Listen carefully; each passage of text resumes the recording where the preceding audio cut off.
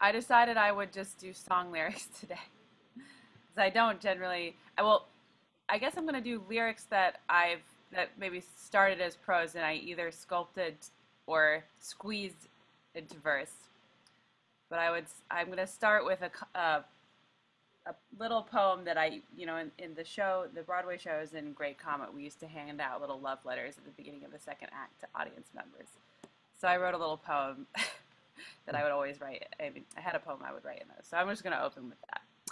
You, my love, are more than a comet. You are the truth that visions defy. You are Adonis radiating long after beauty dies. So that's my little opening poem. Mm. And here's a song that I wrote about the eclipse that happened, uh, the solar eclipse, and I was feeling a little paranoid for some reason. All right, this is called Rainy Day. There is a funny kind of blue this September morning. I do not know if you have viewed it. It is alarming. Don't forget to write to Mom. Tell her that I miss her. There's a shadow on the lawn. Trouble coming, sister. Rainy day, keep it up. Drunk all day, it's not enough. Rainy day, keep it up. Drunk all day, it's not enough. Here come the chicken suited men in rare condition. The sidewalk sizzles like a pan. I flip and kiss them. I hang their picture on my wall. I want them to shut up now. I'm gonna kick them in the balls if they keep it up now. Rainy day, keep it up. Drunk all day, it's not enough. Rainy day, keep it up.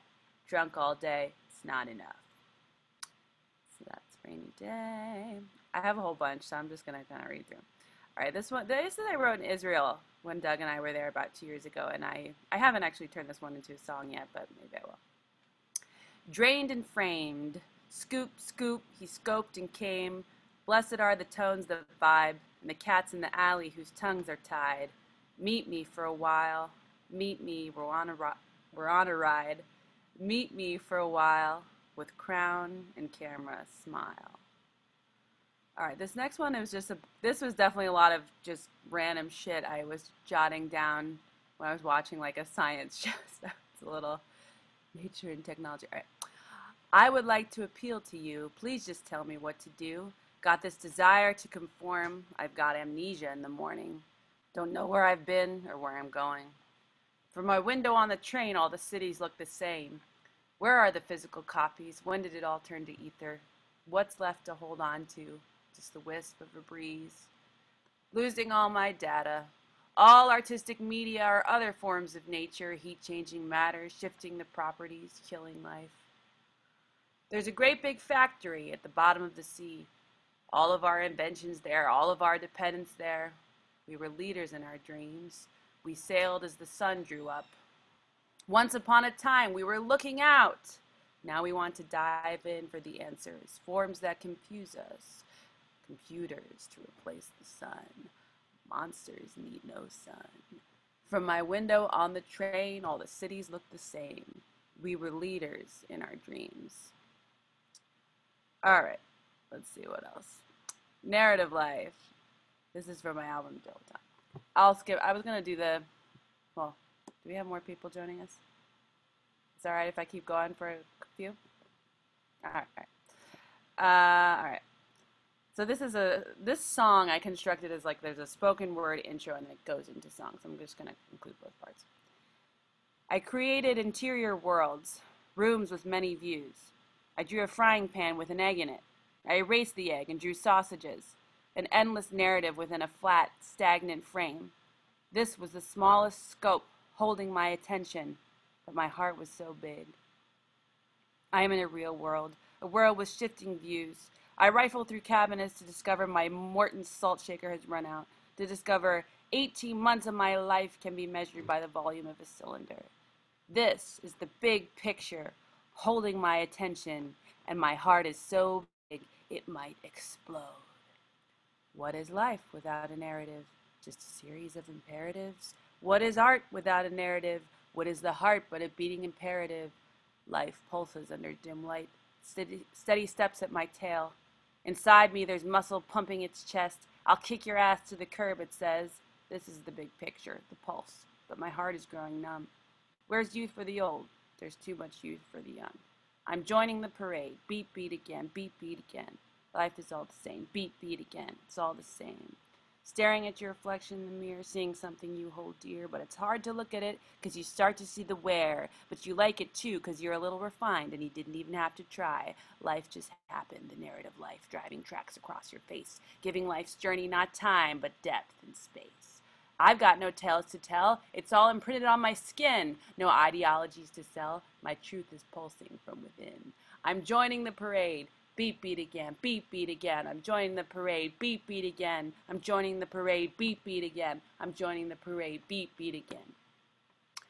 All right, this is isn't it typical? This was a diary entry, so this is the version of prose squeezed into verse. I am content, but on the edge. I'm so excited, but what for? Told someone the other day that I felt my constant state of happiness was a fleeting one. I was drunk. Not sure I really believed it. Well, I did, but I guess not my wording of it, or the fact that I was putting the feeling into words at all was overstating it. Let me get over myself already. It fades away, the seasons change, blue to gray. It fades away. This ugly journal that I hold so dear, with so many romanticized entries, so much dreaming, so much longing, so much lust, I'll never change. I may seem more practical, no, not practical, self critical. I'm not really, I just have to keep myself in check from time to time. Blue to gray, beauty fades away, the seasons change. Blue to gray, beauty fades away, the seasons change. Blue to gray. Ils n'ont pas l'air de croire à leur bonheur. They don't seem to believe in their own happiness. That's me. I don't quite believe it because obviously there should be something more at the core, not this superficial shit which gives me an ongoing excited contentment, a potentially destructible one, the essence of which is manifested in my subtle uneasiness. Yeah, yeah, yeah. Ils n'ont pas l'air de croire à leur bonheur. It fades away, it fades away, it fades away, it fades away. All right, I think I got just Two more. All right. This is underbelly. Woke up with the pain, underbelly digesting, ugly people of the night. They ruined my thing, stretched out the bellows because I didn't do 'em a favor. And that pain was injustice. It fumed from the belly up. I was choking on my breath. But I sat up in bed, straightened my spine, gulped down my liquids, and I was on my merry way, lit by embers of the underbelly. Then it's late at night. I'm alone on my couch, nothing left to digest. I'm running on empty, craving a feeling, so I fill my belly up with oil. But the emptiness is isolation. The oil coats my belly, but it's no replacement for a friend. So I stand up straight, walk out the door with a smile, and the faith that someone will come and greet me, and I'm on my merry way, lit by embers of the underbelly. All right, last one. So this one actually I made into, I mean, the way I recorded it is kind of a rap, we'll say. and this is about having a, uh, when I was recovering from a stress fracture. I have a fault line, too much impact to the stem, have to slow down and sway. Amen. Who is she? Hi, we're toot sweet. Ah, a band, that's neat. Yeah, we're a band, vibrating in a box. The players are natural. O is like an astronaut. I am me and I am toot sweet. Twice I had a dream, once, twice sold. I approached the equator surrounded by gold. My liquid subsided, combustion cells rise. I heard they got A. D was robbed and disguised. Disguised. Remember how I picked it up, a frothy cup in hand, handled that coquette, then I handled my man. Now I'm mean and coquette is confused. She was free at camp, perhaps misused. I'm re-examining her with my P.O. We find pleasure in rituals like going to the Duomo, singing in harmony, connecting with the public. We find it outside of our sperm egg republic. Mom didn't push, she preferred to seize. I was sad from the waltzes and hug my knees. When I met my P.O., I finally said hello and farewell to the art house. Mama knows when it's time to get out. I know when it's time to get out of line. I find ghosts like my dad unconscious on the highway. That's okay, I sway. I made it to the diamond play. Soon I'll go to Paris, put on airs like a Ruski, say farewell to ADs, P and C. My P.O. and I will wrestle to be, to impact the fault line till one of us screams. Thinking on filthy, LB, and dad. Farewell, melancholy. Hello, bad. That's it.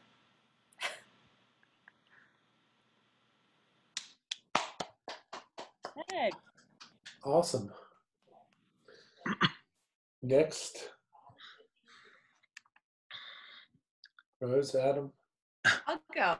Rose, um, okay. I have a question. If I um, just a, a low tech question. If I click away from the screen, can you still see me? I think so. You can still Yes, see me. still see you. All right, amazing. Then I will use this screen. Um, it's really nice to. Um, okay. It, I was really happy to be asked to read some poems. This is actually the um, the second time that this week that um, uh, somebody's asked me to uh, do a Zoom meeting in my early iteration as a poet, which is really interesting um, because I've um, mostly done um, uh, songs for a long time. Um, but it looks like um, my poems are even more intense than my songs, so that's what we're gonna do. Um, all right, so let's see. And I have one more thing that I want to um, look up here, which is um, I think I'm going to share an unfinished, somewhat unfinished song with you guys, which I might sing um, a cappella. We'll see. Okay, so um, the first one is called um, All About Christian Women. What can wash away my sin? Nothing but the blood of Jesus. What can make me whole again? Nothing but the blood. I scrawled an adolescent Eden in a spiral notebook with my youth pastor's pen. He had a soft beard and a softer t shirt in a cornfield in October with a blackbird sky. Oh, precious is the flow that makes me white as snow. The vessel is pure, the vessel is holy, and the song of songs, a flash flood in Nebraska. The denomination is rethinking women in leadership. No other fount I know, nothing but the blood of Jesus. I come to the altar, but the music has changed. They cover my belly with their little blue blankets. With the body of Christ can see it's too late. The worshippers pick from a pile of stones. Holy justice is quenched. Waters above, earth below, when the last of my family can't remember my name. Nothing but the blood, nothing but the blood, nothing but the blood, nothing but the blood. Mother, am I an infidel?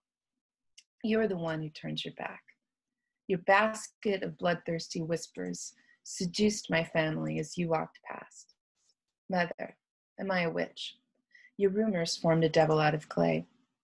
You charged me with Lucifer's pride. Was it God or his angels who directed you to testify?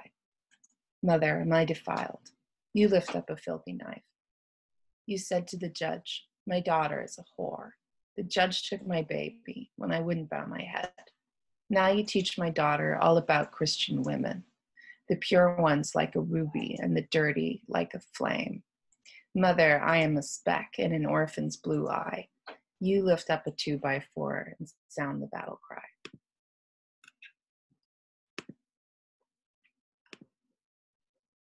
Let's see. This is called the service. Let grief come in. I'm afraid. I hid from grief, but grief could wait and wait. So come, metal fingers, sweep all the way through, all the way deep across the whole room. Finish your work and leave me diffuse. It's no use. I can't hold anymore. This trembling field can't hold the door. Come in, grief. Bring your rake. How many passes can I take? This is called Mother's Day. You stabbed me in the heart and plugged the hole with a carnation. This is called Hollywood Goddamn. Power, power, how could you do me this way? The answer is power, power. Why is it taking my breath away? Power. Don't you talk back to me. You talk back to me. Nina Simone wanted you to know when the school door closed because of old Jim Crow. That was a door that could never be unclosed, and it was never gonna be okay. Power, power, what have you taken away from me? Power, it was my power, it was my power, that's why it feels this way. Don't you dare say a word, you dare say a word. Asia Argento said, Harvey, no, no, no. He ate her up like a monster, like big bad wolf. Hollywood, goddamn, but get on with the show. In the movie, she would get away. Power, power, how do you keep me afraid? The answer is power, power. How do I make you afraid? The answer is words. Don't you talk back to me. Don't you talk back to me. Don't you dare say a word. Don't you dare say when the goddamn president of the United States grabbed his wife in 1988, ripped out fistfuls of the hair on her head. She said he ripped off her clothes and shoved her onto the bed and shoved his penis in her body in a violent way. The word for that event is rape. Power, power, how is it taken away? The answer is silence. Maybe I'll do a song. Um. Since we have another presidential song. Um, interesting, actually, right after the 2016 election, I knew I was going to write a song with that chorus and also knew I was going to write a song called Heaven is a Wall. And it took a while for it to uh, to drop into my head uh, completely, but this is the song, and um, uh, I guess I can just introduce it by saying I remember Trump's campaign really reminded me. There was a really great article about um, its comparison to what's known as the prosperity gospel, um, uh, which is kind of just what it sounds like. Uh, and I just thought so much about um, how um, upset I get when I hear, you know, sort of um, like worship songs or whatever as as a fundamentalist refugee. Um, but uh, if I hear like um, you know an African American music song about heaven, um, it's just so different. And um, you know, Trump when he talked about his wall, I just kept getting these flashbacks to um, the floor plans for heaven from the Book of Revelation. And I knew I wanted to write a song about that. Um, and you know, sure enough, I mean, it's just a really different vision when you um, think about leaving this place and going to another planet where your enemies do not exist.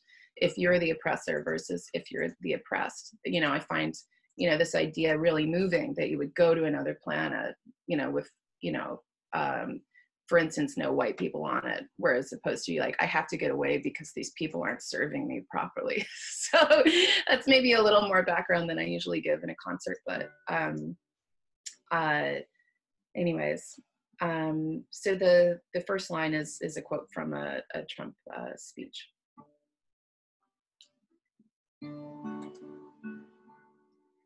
Heaven is a wall impenetrable physical tall, a powerful, beautiful border.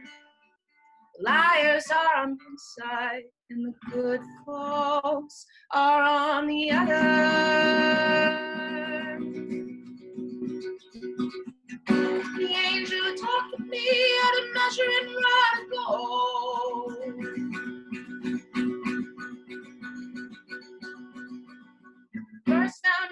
was, sorry, um, the wall was 1900 miles long, 144 cubits thick, built of solid jasper, city of gold as pure as glass.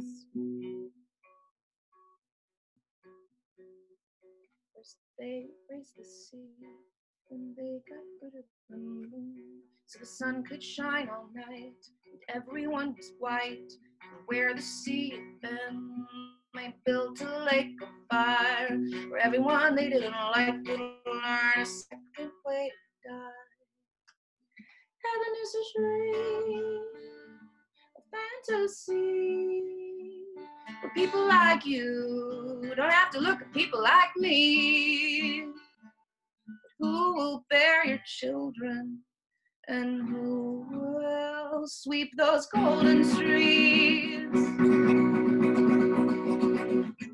The angel of seven bowls, and the wall was built of precious stone. First foundation was jasper, sapphire, topaz, and emerald. Chasing through the onyx, each gate was made of a single pearl.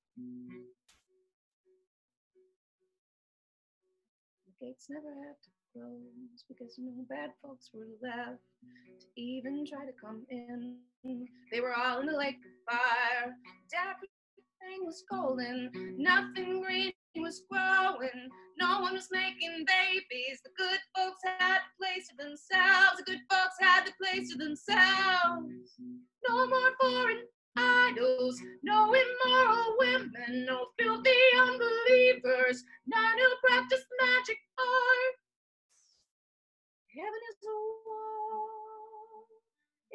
impenetrable, physical tall, terrible, powerful border.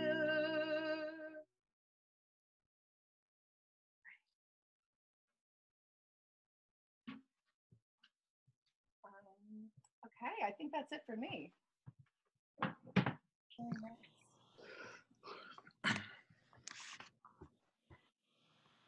Tom, does that mean I've drawn the long straw?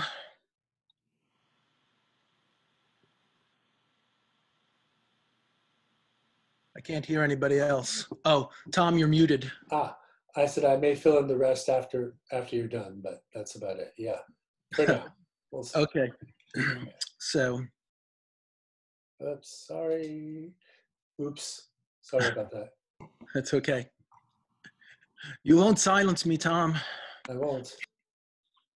Okay, so I will do the rose method and uh, look straight at my screen, which from my vantage point has a poem up between myself and the screen and the um, Zoom. But anyway, so as all the Irish know, uh, St. Brendan uh, made it uh, to the Americas following an ice shelf uh, in the 6th century AD. Uh, and this is how I remember it. It's called Common Sense. I'm pretty sure there was a granite mountain range where Boston stands today, which St. Brendan's crew, lost ashore off the last, after the last lighthouse had closed, stopped in at until morning carved in place, chiseling out the stone balconies and pointed spires of the gray high-rise battlements we still can see, following the winding, tangling trails to set the streets wherever the rock giants cared to curve. The later pilgrims used the scrap as bricks for their low cottages and docks and paths of cobblestone, which actually came second to the towers until the settlers figured out a use for all the rest. The crew, festive at finding a new world and drunk already, carved the whole town in one night and left a labyrinth of casks beneath the streets, whose seas of whiskey light the lamps along the all night avenues and guide the still unfinished revels gently to this day. Which isn't really possible, but the saint believed it when he lit them. That's what counts. And sticking with holy men or their effigies for a moment, a brief observation from the one time I was ever in Italy. It's called Street Island, Arezzo.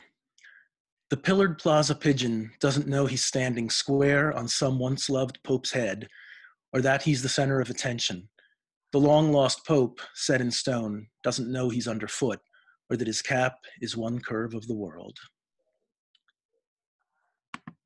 And staying with town squares, but and their monuments, uh, albeit in Pennsylvania rather than Italy this time.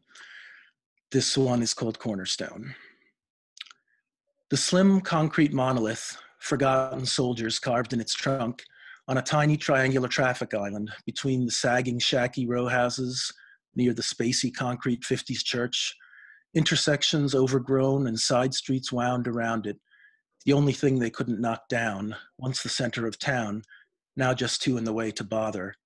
An eternal sunlight, a security beacon wired to the top so no one gets mugged or crashes their car or forgets our fallen. Palimpsest crowds collect and echo around the pedestal, like moss to that one light, hang at the center of their neighborhood's proudest day. Traffic can't stop them. They pay their respects. They wonder why we're so unhappy. Um, I set myself a rule uh, never to uh, title poems um, in ways where the title itself needs explanation, uh, but I violated that here. Uh, this is called aware, like a space, where are you? So solitude is on everyone's mind. So here's uh, an older one about uh, when I had as much solitude as I knew what to do with. Um, aware. If nothing in the woods around you moves, what do you hear? The blank page, the empty nightness, holds everything in what can be until you make a mark. I breathe in the scent of stillness, the lone dark, and joyously can't tell myself apart. The space between all moments, the, the slate of all next things, the peace of silenced waters, awaiting the calligraphy of rings. When shadows cast and feet take steps, in that breath will once more be a me. Until that motion comes to be, I embrace not being here to see. Uh, and of course, deserted streets, not just personal loneliness, are themes of this here plague. So here's one of the many poems I've gotten out of Ohio. It's called Landlocked. We came to see the sights of the soundless town, a neon native chief watched over the street from a high, crazy deco movie house marquee, closed like everywhere we went, the ways to a life that disappeared before he would, crossed paths with the only other soul we saw, ships passing at stilled summer midday, but looking back at each other to wonder why we came here and why she had stayed. Actually, she called out to ask where we were from, quizzical at the distance, returning our visitors' compliments, with what enthusiasm she could echo, already too far apart to shake hands, the emptiness of the avenue closing in around our parting waves. We were there to read the scene's own silent story. None of us made it into the poem. And finally,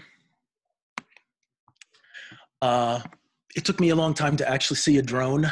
Um, kind of one of those new fashioned doohickeys uh, that uh, came late to me.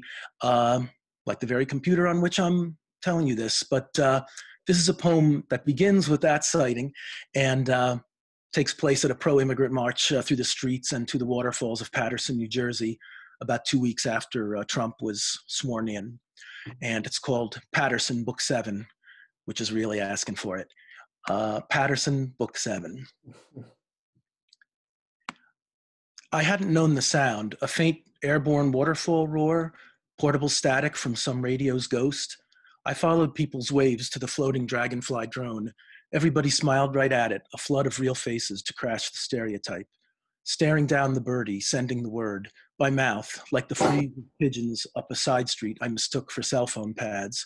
Retired from spying, now carrying and keeping no one's message but their own. nodding calmly way above the current of bodies no drone could tell apart, flowing uphill through the antique city streets to swell at the edge of the grand cliffside's cascade, streaming in from different worlds, determined to be, determined to stay standing here. We'd kept moving, a pilgrimage in sneakers, strollers, turbans and prayer shawls, hoodies and hijabs, to the pulse of storefront speakers, chants and prayers from cantors and imams, past the higher floors of the fanciful facades, once chapels of industry, empty now, the heavens up for rent. But on this day, the word was on the street. Gathered at the crest of the waters rolling down, to hear each other's voices over any sound, some flurries of the winter sky came to rest in our hands, drifting alike onto the towers and the ground. Nothing special, but each with a place, at the lowest walks and brightest heights of everybody's land. Thanks all. Thank you. Awesome. Uh, all right. So since uh, we we had two two people who said they would come but did not manage to make it, uh, you're you're stuck with me reading some an, an old poem which I thought I didn't like, but now I reread and said it's actually not so bad. Um, which I wrote 19 years ago to this day. Um, I took a wonderful class with Patricia Carlin at the New School, uh, the, definitely the greatest poetry teacher I ever had. I learned from every single poem she taught from. She was a Shakespearean scholar as well as contemporary language poetry. Um, anyway, this was, uh, you know, just to be fully out there, this was an assignment where you had to take inspiration from a, a poet, and I, I chose Pound, Ezra Pound these lines, love gone as lightning, enduring 5,000 years shall the comet cease moving, or the great stars be tied in one place. That was my inspiration for this, and I wrote a poem to that stanza. Um, and it's interesting that there is a biblical slash eschatological theme today. Um, and also worth uh, saying, I don't come from fundamentalist religion. I, I come some, some from uh, fundamentalist atheism, although I was always, uh, I guess, interested in mysticism from a very, very early age, um, oddly enough. So, anyway, enough explaining, show, don't tell, right? So, this is the poem with no title. Pieces of yellow sunshine blot the sky. The rest is a nebulous blue and white. The shrill scent of your perfume wafts by, and memory enters for a moment. My sense is dumbed by citrus. Yet I want to sing to this illusion that lacks the warmth my flesh craves. It is April, and clouds of thunder bring love gone as lightning. Crepuscule on my fire escape, eating lettuce and cream soda. We stare at a toy city in the distance. You are wearing the denim jacket I gave you with glow in the dark stars. We hold hands as night appears. I hear sounds from the street as if they were in front of me.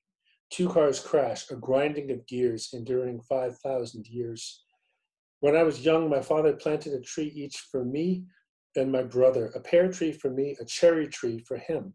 It took quite a few years for them to bear fruit. They bring fruit every year and haven't stopped for over 20.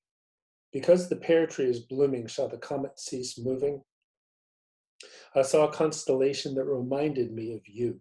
Extravagant curves and structure, but it is two dimensional and moves without emotion, unlike the muscles on your face that shift and pull in real time. It, is it any wonder that your beauty is in the shifting of elements in space, or the great stars be tied in one place? So that's that. Um, and then actually lyrics from uh, songs that I wrote this past year. We had a um, sort of a songwriters workshop. Basically, we would write to assignment. Um, it's a bunch of people, certainly people that Mary knows, um, you know, a pretty large group, maybe eight people, and it was great because everybody was um, very positive in their feedback, but um, but also really, you know, gave really good critique. Uh, Chad Bourne was involved in that, Mary and Lane Steinberg, Dave Foster, and uh, Mel Johnston. Really, a lot of good writers. So I um, was very influenced by this cartoon, uh, Steven Universe. Um, the woman who writes these songs is just brilliant, and um, what I love is that I I realized I had real uh, prejudices, you know, sort of perfectionist, terrible perfectionist streak that wouldn't allow myself to just write. You know, uh, I would compare everything to Chris Difford's lyrics or Elvis Costello, and so I was sort of stuck in this. Uh, you know, I was not allowing myself to uh, to just try simple ideas. Anyway, um, this is maybe untitled, maybe called Flowers, I'm not sure, but this is the lyric to the song. There's actually a song which I'll not sing right now, but uh, maybe another time. Flowers are alive. You can have the night sky to dance on because you can't tell me that I am yours to die with in this way. Hold me to the light, and I am yours to die with in this time. Hold me to the light, and I am yours to die with in this time. I'm so glad that I'm alive. I'm so glad that you're alive.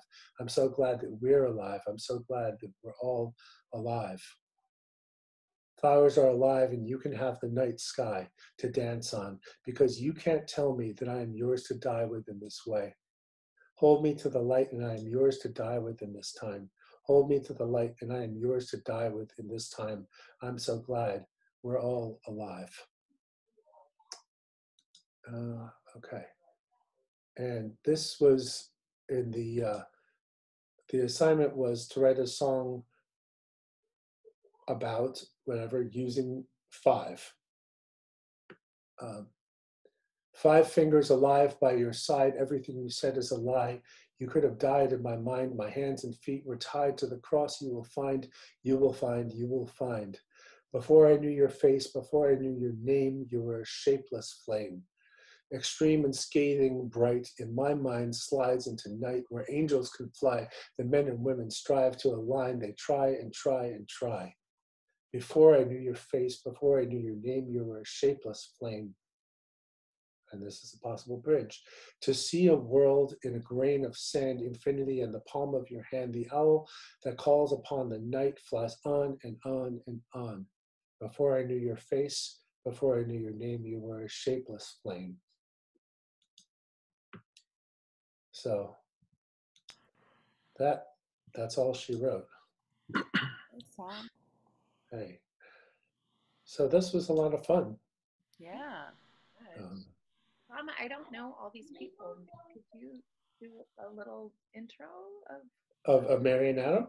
Yeah. Sure. Uh, Mary Knapp, uh, Mary, how was it six years ago that we met? At least.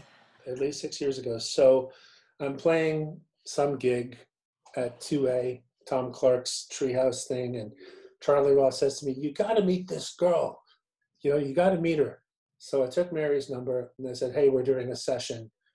And uh, she came down and uh, she delivered. And then I found out what she did, which uh, she's quite prolific as a writer and a performer. Um, and uh, we've collaborated on many, many, many, many projects. And uh, she's probably the only person that uh, Mike Fornatale, if you know Mike, would he said he said you know we we can't necessarily have Mary with with our group because people if she's not there people always say where's Mary.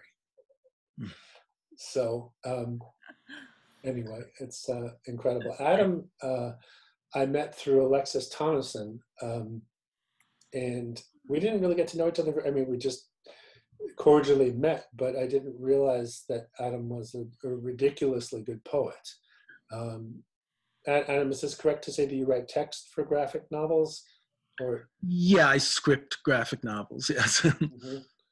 um, do not uh, do not illustrate.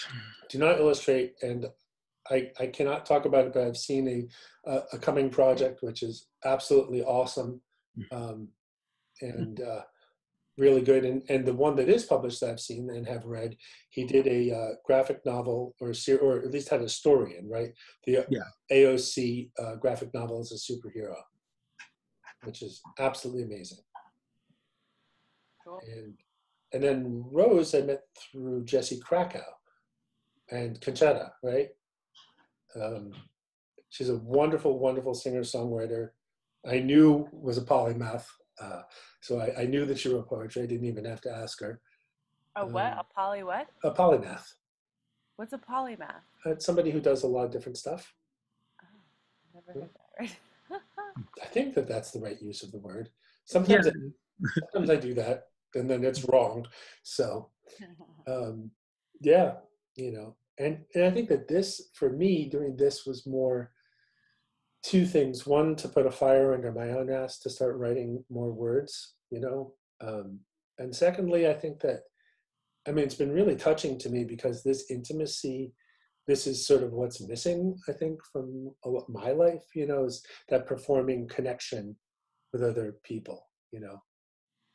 Um, and there've been a couple of these, and it's it's been very interesting just to see certain performers connect with each other, you know, that didn't necessarily know each other before, and you know, and it's it's nice to be inspired, you know.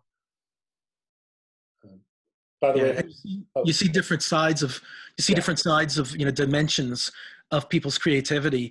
Like uh, it was fascinating how Mary, how like wonderfully rhythmic you know your reading is, and you know I think it really uh, plays the role of the accordion and other accompaniment in, in, in much different ways. And to see this almost, you know, evangelical fire in your uh, delivery of it, uh, I didn't know that it could be as mad an experience as, you know, the full concert, but now I, now I know. Yeah, I mean, I'm I'm lyrically very challenged. Like, it's very hard for me to to take in lyrics when I'm listening to the whole song and lyrics and your stuff is also so there's so much going on that you know I, I mean I've played some of these songs with Mary the Underbelly I never knew the lyrics really do you know? So it's nice hearing the lyrics by themselves you know because they stand up on their own you know? But, so Rose you're you're in the New York area too or where are you beaming in from? I'm in Brooklyn. I grew up in the, the Midwest but I'm in Brooklyn now for the last nine years Mm. No, I loved your stuff. It was uh, really, you're really upholding the bardic tradition single-handedly. I think because you know the uh, the the weave between word and and and tune was was really perfect, and you know. At, uh, well timed um, and that wall song in particular i hear a lot of buffy sainte-marie in that you know mm. uh, which is for me a high compliment so uh, yeah desert island album for me illuminations for sure. Oh, Illuminate! Wow, yes. if any, if anybody else doesn't know, the the actual first electronic rock album, I would say. So yes. Hmm. Yeah, my band actually did a cover uh, one show where we covered the whole album, and then we never did it again. It was really fun. That's familiar. Yes. Have yeah. you recorded some of those as songs? What you what you performed just now? You know, it's interesting. I have I have three full length albums the third one is about to come out if I just uh, um, do a couple more things. um, and but I actually um, the two sung pieces that I did today haven't been okay. recorded yet. Um, I really, I got to say, I really enjoy. I've always enjoyed the question and the conversation about uh, the connection between poetry and song lyrics. Mm. Um, you know, obviously the idea is, oh yeah, well that, those go together, duh. Um, but for me, there's such different um, headspaces, really. Um, and I'm also really fascinated um, just by this moment in our culture, you know, just as Americans here, where our status as workers is such a big part of our um, identity and where being an artist uh, can feel so selfish or whatever. Suddenly that now that everybody's you know even if they're not off work they're not going to their jobs i feel like a lot of people feel like they um, have sudden permission to almost to indulge themselves. And i was really fascinated by um, you know kind of the in in love with the the flood of online concerts. And yeah this you know i haven't had a public identity as a poet in years. And this week is the second, the first of two poetry things, and I'm really, really enjoying it, and um, I hope to make more more connections because I realized I, I missed that a lot. Yeah. yeah.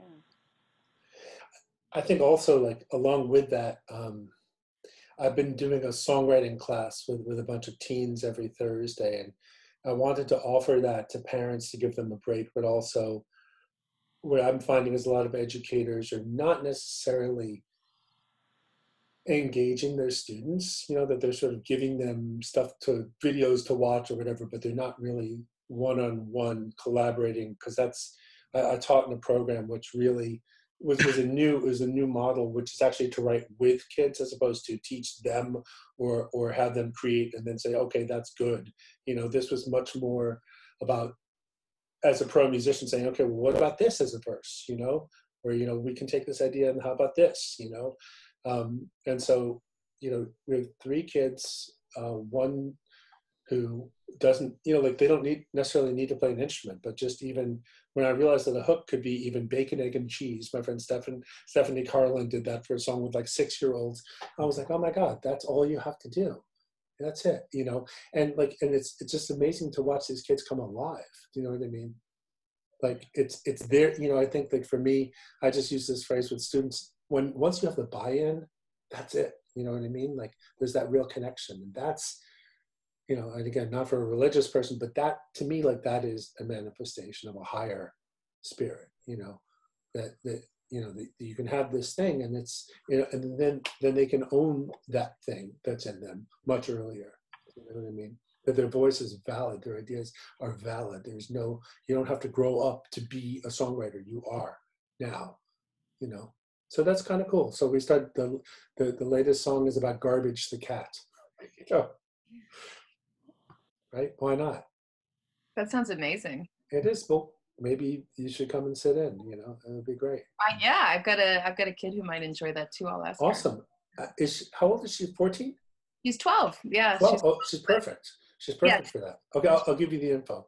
Yeah, because the the kids are I think eleven or twelve, and then fourteen, and I think fourteen or fifteen. Perfect and uh, yeah because i think that there's and it's also interesting just to hear how sometimes parents are so scared to do something wrong with their kids like in terms of instruments and all this stuff like oh they don't play an instrument. It's like it doesn't matter. Yeah. it doesn't matter. Like they can have ideas. It doesn't you know. It's just you know victor wooten said um, he said you know people say music is like a language. He said no it is a language. Mm. it hmm. you know you know, and we begin by mimicking, you know, and, and that's it. I mean, babies on the, you know, Mary's baby is probably way ahead of the curve, but you know, like they, they, you know, they begin by doing this stuff right away. You know, like I remember my kid, she was listening to like Xenakis percussion stuff when she was one and and digging it. So who knows? You know what I mean? You yeah, I still I still get in my my daughter does has always done a lot of walking songs, basically spontaneous walking songs from the time mm-hmm. she was really small. One time we were um, on a spontaneous vacation at Lake Winnipesaukee, which was like a let I can't take anymore. Let's go somewhere.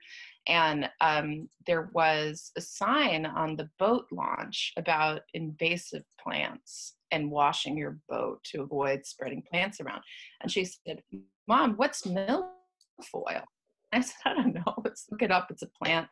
And she, we were walking back to our campground, she started going, milfoil, dum diddly dum, milfoil, dum diddly dum, milfoil, milfoil. And I still comes to me every once in a while when I'm walking, you know. So you're right. I like bacon, egg, and cheese. Yeah, that's very rhythmic. All you need is a I time. Love, I love this walking song because that's so like, yeah, being in motion is always a great inspiration for music. Like that's why I miss having a car because I would always like make up songs while driving. It's built-in rhythm. Walking is even better if you're not afraid to sing. Walking maybe it's good. Yeah. Right, or even like um, uh, uh, Jeunet, the, the guy who did Amelie, like like taking rhythms and then just you know writing words to whatever, to the raindrops or the dishwasher or you know what I mean. Like sometimes like hearing those rhythms, it's that that can be very inspiring because it's not necessarily something that you expect or or whatever. You know one of my favorite things that I, I keep neurotically recording, uh, afraid the whole time that I'll break my phone and lose my connection to the outside world, is our dripping bathtub into the bath water. It just makes this amazing loop. You know, I guess we're all at home paying attention to these things. my new thing has been um, I'm now working on my second video of play animals with, with my daughter Betty. You know, I I have the animals sing, so I, I make up a little song and then I I sit down and I kind of add some harmony to it, and I'm trying to you know because it's not too quick or anything, but I'm just trying to like catch the that's like that's the thing that's like fulfilling me Hmm. artistically right now. Like I don't really want to write song like actual songs, but doing that is like really fun. Well, you know, it's kind of going back to homespun creativity, you know, like that quilt that's in back of you, Mary. You know, it's like uh, there was a time when everyone was an artist, uh, and not everybody necessarily knew that. Now everybody, can know it because we're connected electronically. And uh, yeah, I mean, I always thought that the advent, when people were worrying that like the advent of the internet would be the demise of live performance, I thought, well, no, we're just kind of going back to village media as I thought of it, you know, like with wandering troubadours. Uh, and now we're, you know, back to uh, uh, whatever. We're all in our like madman and madwoman's cabin making our art, but uh, but uh, everyone can uh, can hear it and see it. Yeah, It's really what I'm about this moment for sure. yeah. It's yeah, it's yeah. But there's something else I was thinking about. Oh, just um, I don't, I don't know why I'm bringing it up now specifically, but it makes me think when, when we did a, a tribute, Jesse Krakow did a, a tribute to the Shaggs, and Oh, so it was great. the whole the whole thing about the shaker tradition of um, that they would sort of tie these you know these sort of mono like not not like no harmonies but just just these these sort of chants you know and uh, yeah and, and i remember a friend of mine telling me that he visited i don't know if it was bali or somewhere where that they create all this art and then when they have too much of it they throw it out Mhm. you know like I, I something i've been obsessed with for years probably because of my own whatever uh neurosis but like the, this idea of you know art with a capital a and like i'm an artist you know and and, and it's true like everybody art is just a part of our expression you know like why does somebody you know deserve to make art? Do you know what i mean? Like that you know it's it, it's an interesting thing of like there is craft but then there's also this sort of soul expression and there is no measure of that you Mhm. know? I mean you know i don't know. I something i've always been just curious about that way you know like yeah and, and then and then also the outsider art thing it's like well you know so if something is supposed to look like this thing but it doesn't look like it then is you know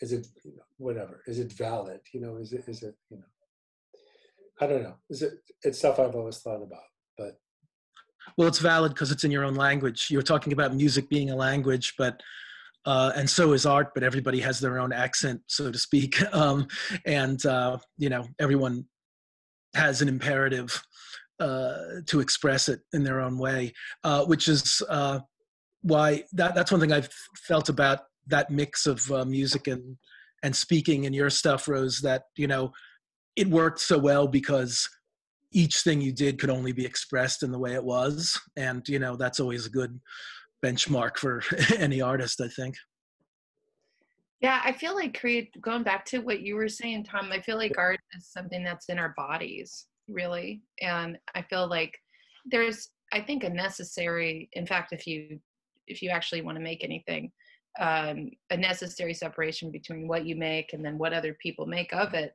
Um, but I think that what other people make of it enables it to live on for other people to experience. And I was actually thinking about you know certain poets that you read and and it says in the notes oh this this is a song and the the tune is gone.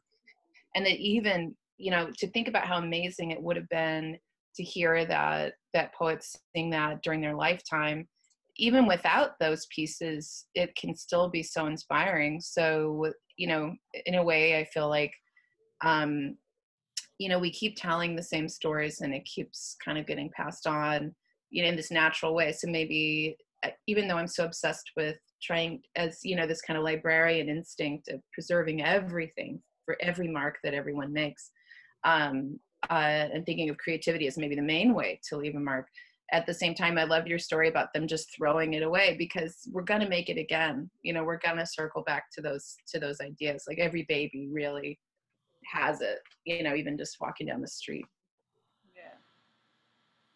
Yeah. And Ann Babson has just joined us from New Orleans. This is Rose and Mary and Hey, Adam. Rose. Yeah. Adam, uh, how are you doing? And and Mary, I know you. You know me better than I know myself. I think at this point, from reading the libretto that I'm working on with Mary and Tom. Mhm. Um, uh, Adam, Mary, and uh, Rose, can can we stay to hear Ann? Yeah. Yes, great. Yeah, sure. Great.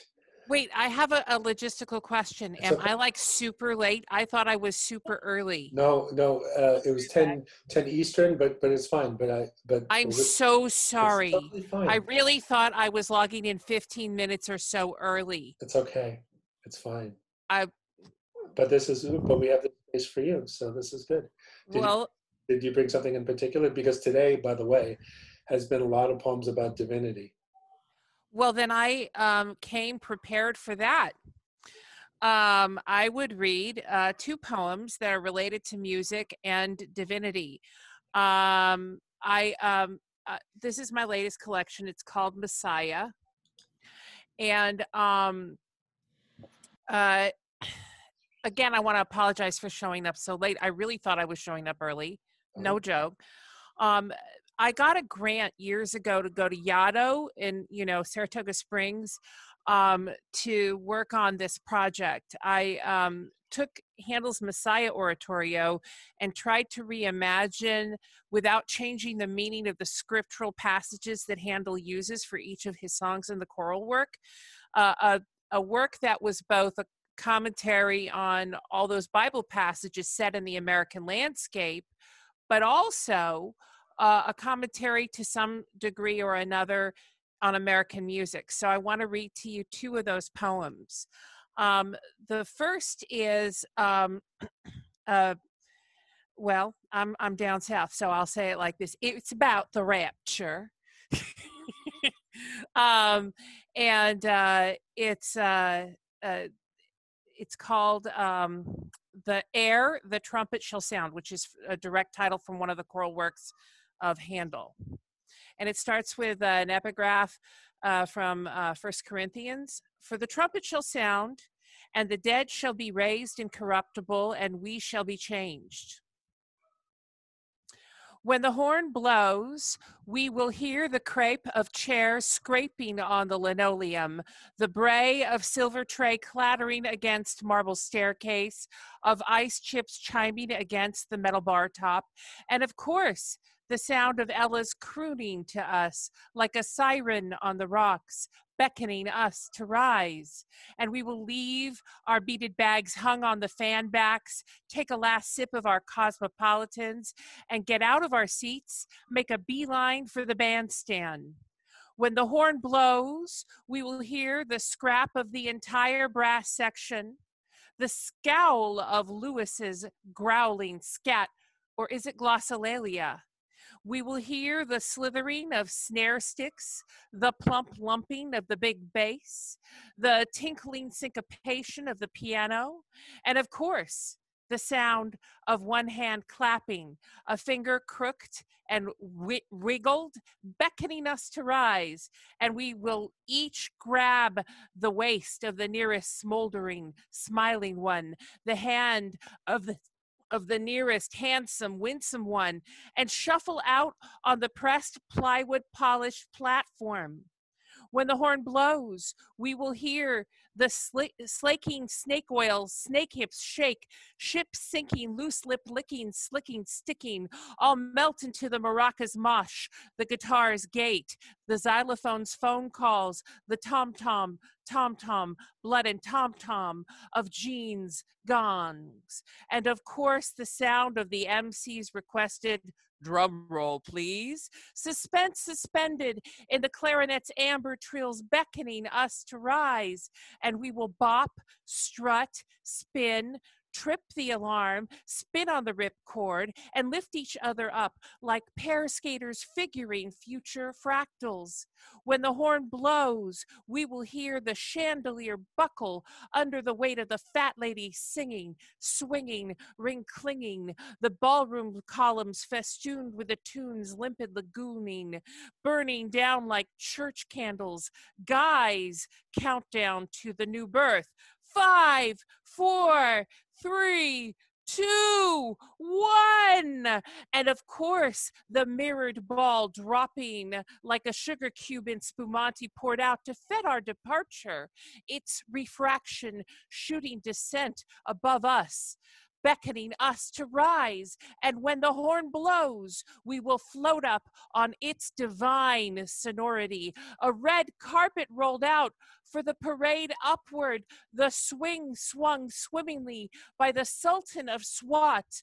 Our moon glowing Big Bang uh, blower will knock us, the melded orb of jitterbuggers, ascending on a copper coated note held by the virtuoso for many measures, toward the bleachers, above the back fence, and out of the park. And um, the second one, thank you. Uh, the second one I won a prize for. I turned the Hallelujah Chorus into a Southern rock anthem, set again in the American landscape because, you know, I am ridiculously now considered a Southern writer. Like I've won a prize from the Southern Writers Southern Writing Conference, and I am not from the South, but you know, I apparently am now. Anyway, this is called Chorus Hallelujah. Um, I'll give you the the um, the several epigraphs and then just dive in.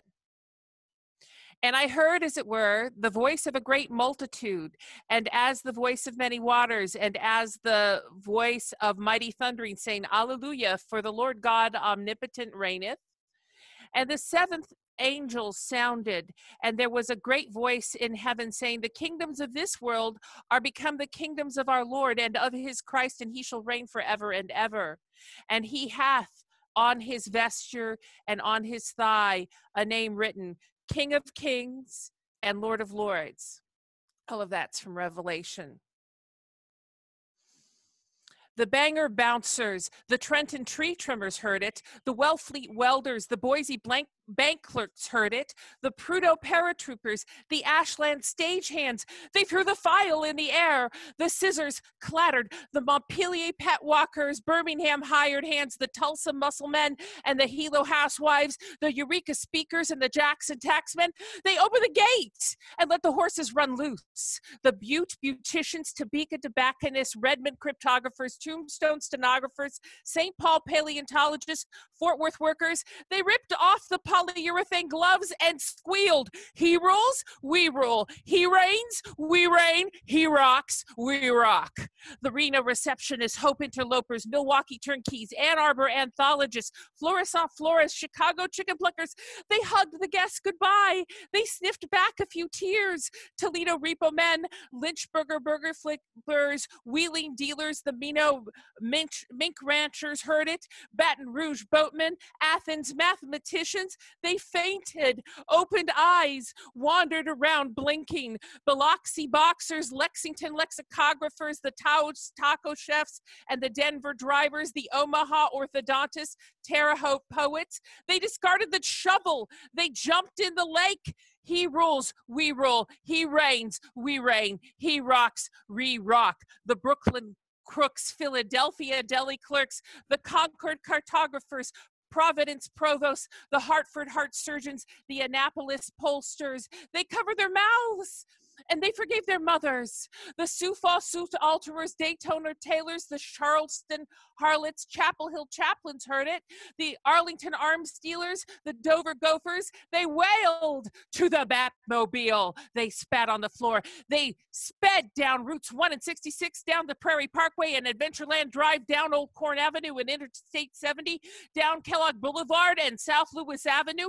He rules, we rule. He reigns, we reign. He rocks, we rock. Down Black Stockyard Road and University Street, Lake Drive, New Jerusalem Curve, Clinton Lane, across Brewery Avenues and Colgate Court, across Gum Beach Road and up Plaza de Armas, up the Dalton Highway and Waimea Way, across Shasta Avenue and Siskiyou Road, Microsoft Campus Drive and around Fremont Street, down 9th, 4th, and First Streets, up Hondo Seca Road, across the Alameda de las Pulgas Detour, up Appalachian Way, and the Temple Boulevard, a right at Whippoorwill Lane, at Cedar Junction, at New Heritage Court, at Tucson Avenue. He rules, we rule. He reigns, we reign. He rocks, we rock. A left at Crazy Horse Way and Cahaba Drive at Cherokee Street and Kissimmee Boulevard, along Sacagawea Curve and Dixie Lane. They went straight at Reckoning and Righteousness Streets and at Cemetery Avenue, they picked up hitchhikers. They drove down Lenape and Navy Streets. They kept going at Pembroke Road, at Madison and DeKalb Park and Amsterdam Avenues, and on Providence Road and Wilshire Boulevard. And they arrived ready, if a bit out of breath. For as it is written, we shall meet him in Bel Air at the unnamed arena they had only just constructed. He rules, we rule. He reigns, we reign. He rocks, we rock.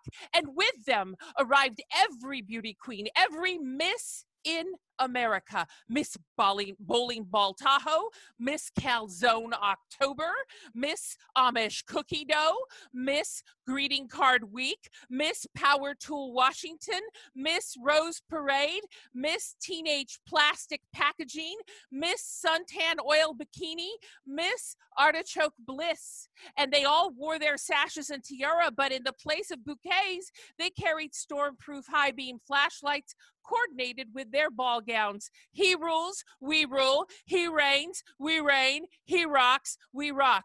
And as they checked their batteries, a bright bevy of white clad pizza delivery men descended from the sky, bearing boxes with sectioned halos.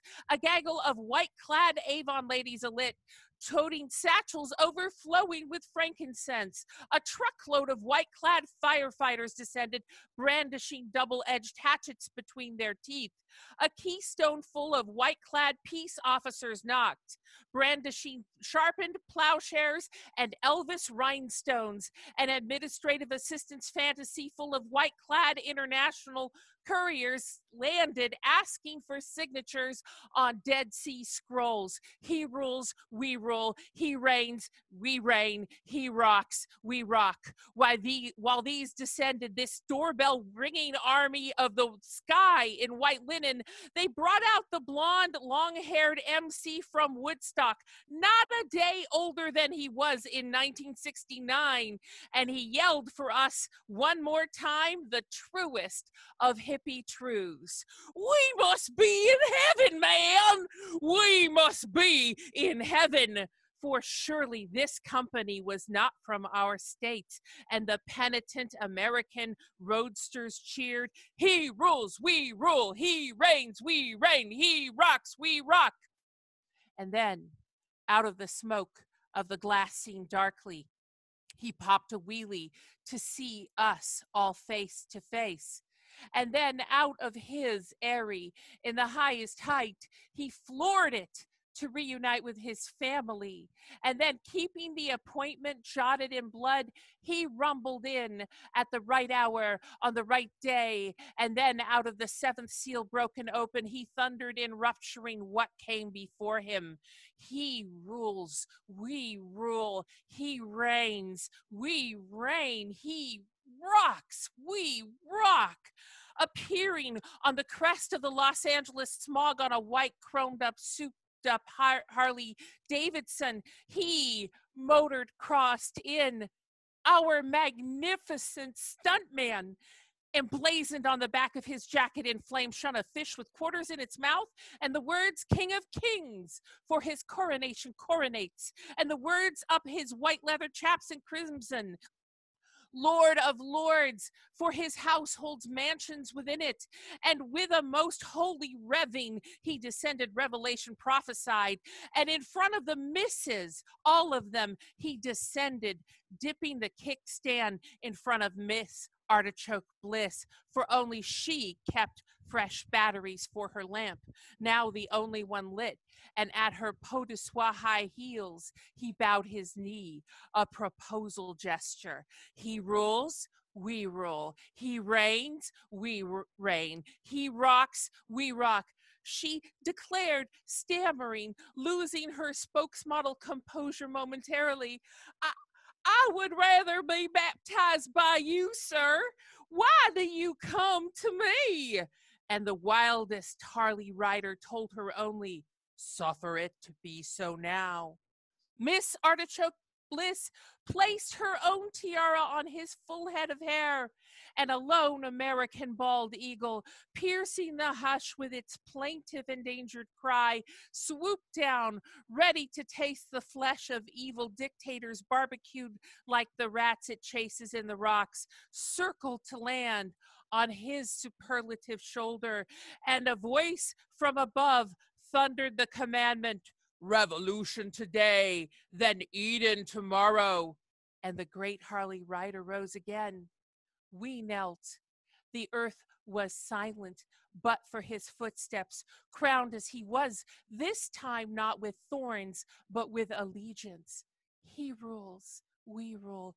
He reigns, we reign. He rocks, we rock. The age of tears, of neuroses, of breakage, of damage, of mismanagement, of exploiting, of sniveling, of groveling, of graft, of growling, of howling, of weeping, of creeping, of sleeping. He rules, we rule. He reigns, we reign. He rocks, we rock, is now over forever. And we are champions, now friends, now ticket holders, now frisk admitted, now shareholders, now valued customers, now heirs, now buckaroos, now Beatlemaniacs, now blessed, now barkeeps, now backstage groupies, now VIPs, now ICATs, now Nick City pretty dancers, now slick kickstand kicking biker chicks. No longer the pockmarked. We are now rockers, now rockers, now rockers because he rules, we rule. He reigns, we reign. He rocks, we rock because we must be in heaven, man. We must be in heaven.